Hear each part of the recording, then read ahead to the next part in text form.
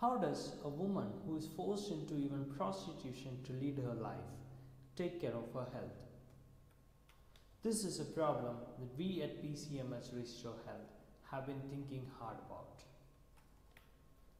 We have come up with a multidimensional, innovative model of healthcare which we think will be able to solve this. We will be building a smartphone app and a network of dedicated people around it give commercial sex workers and transgender women navigational support on health issues.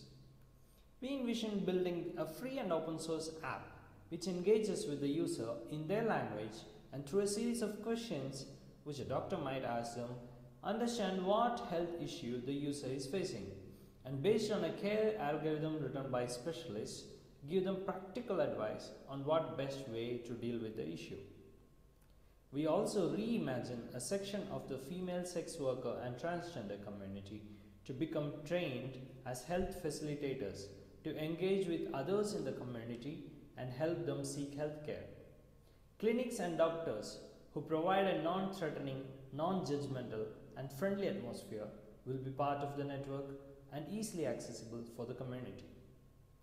We are building this social entrepreneurship in a transparent and participatory approach by engaging with multiple groups of the community, coming up with ideas based on the problems that stand out, implementing and evaluating a few of these, and iteratively improving on the solution.